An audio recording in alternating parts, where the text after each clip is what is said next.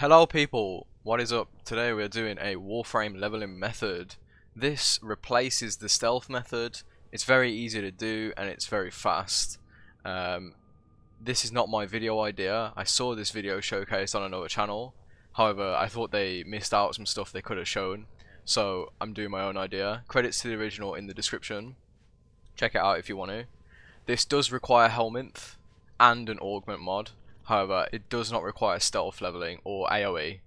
And this does not work for weapons, it's only warframes. If you like the video, subscribe, like, comment, you know, do all that jazz. Let's see if we can get 350 subs.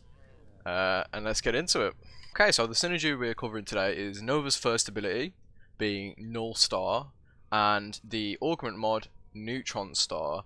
Now, this augment is actually really insane, and we use this to nuke maps on any frame. So this is Nova's Helminth ability, and as you can see I've put it on Protea for this. However, because I have Protea, I'm going to be using another example later on.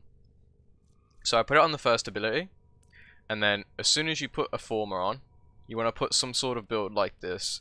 So Prime Flow, Preparation, and then Range mods. And if you can, Slot Strength mods, because obviously they're useful. But um, Duration is not really needed. It's nice, but it's not needed.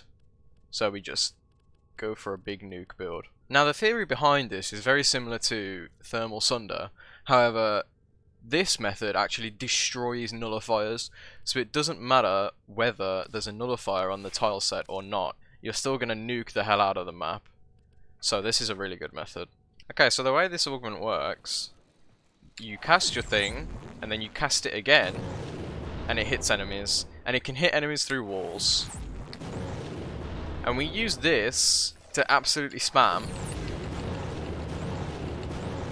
And as you can see, it racks up a lot of heat procs. Now these are probably the most armored target in the game, so it's not going to kill them.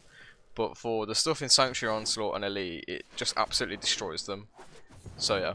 Okay, so I've gone ahead and put a Forma on my Cobra Prime, so we're unranked. Now the first thing is put Null Star on the first ability. First reason is because Cephalon Simaris does not turn off the first ability for whatever reason. And the second reason is after you Forma, this should be the highest level ability, usually level 3, which means you get more range, more damage, etc. And as you can see, I just slotted all these mods together. Um, only one of them is in the correct Forma, so yeah, and now we're ready to go nuke. So because we have a rank 0 frame, we have to go into Sanctuary Onslaught, and I'm going to be doing this in invite only. Okay, so we're here. First step, press 1, and just spam 1. And there you go. Simple as that. Now, the more kills you get with this as you go along through the mission, the more damage you're going to do because of Molt Augmented.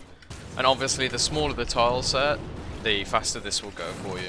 Now, because we're getting kills with abilities, 100% of the affinity from these kills is going to my frame, which is a little bit different to the stealth method where 50% was going to the weapon.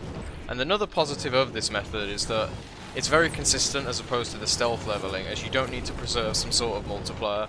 You just walk around and you press 1, and then it's, it's game over basically. Whereas the stealth method, you might lose the multiplier three times and not max out because of that.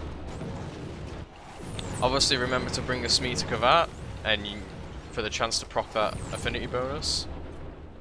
Alright, and so after one wave of Sanctuary Onslaught, with no Kavat bonus and only a booster, we have rank 27 on our Cora. Now this was a bad tile set, so with a smaller tile set you'll be able to kill more and more enemies and obviously reach 30. You could just restart the Sanctuary Onslaught and abort as soon as you hit 30.